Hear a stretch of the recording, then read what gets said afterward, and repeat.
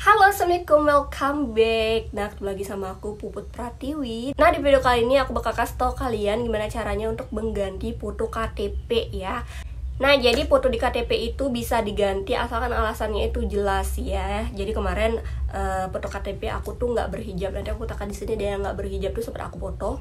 Nah, ini aku ganti sekarang tuh jadinya berhijab kayak gini karena aku malu kan. Terus aku juga sekarang udah berhijab. Dulunya tuh uh, waktu pertama kali buat KTP tuh masih zaman-zaman alay gitu. Jadi belum pakai kerudung. Uh, pertama biaya ya. Jadi biayanya itu nol rupiah sama sekali kita nggak ngeluarin biaya. Kalian tinggal datang aja ke kantor capil atau namanya itu kantor catatan sipil di daerah kalian. Masing-masing tuh pasti ada.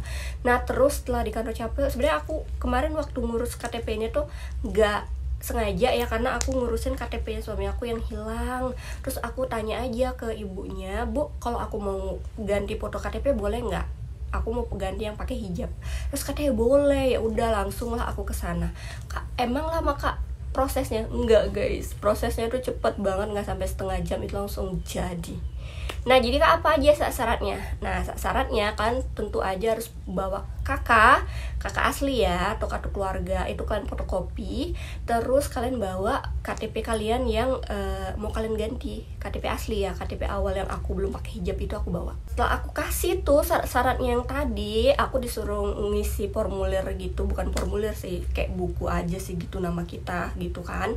Terus aku disuruh duduk di ruang tunggu dan berapa menit? Ya nggak lama. Pokoknya 10 menitan gitu aku langsung dipanggil. Karena waktu itu aku ngurusnya hari Jumat guys. Nah ini penting juga. Kalian ngurus apa apa itu kalau bisa tuh hari Jumat. Karena kalau hari Senin tuh crowded banget pasti banyak yang ngurus. Kalau hari Jumat tuh biasa orang tuh udah lenggang gitu loh. Jadi waktu itu sepi makanya cepat gitu prosesnya. Terus uh, setelah aku nunggu berapa menit itu nama aku langsung dipanggil. Terus aku disuruh masuk ke dalam udah langsung foto. Nah pas foto itu ya udah foto kayak biasa kita diarahin terus satu dua tiga cekrek udah kak tunggu lagi ya di depan nanti kita panggil lagi kalau KTP udah siap.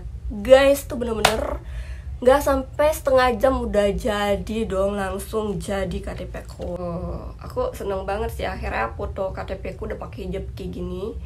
Selama ini aku tahanin KTP yang nggak pakai hijab ya. Udah segitu aja sih informasi dari aku kali ini semoga uh, video ini bermanfaat ya karena ini updatean terbaru lagi dan emang prosesnya cepet banget. Assalamualaikum warahmatullahi wabarakatuh. Bye bye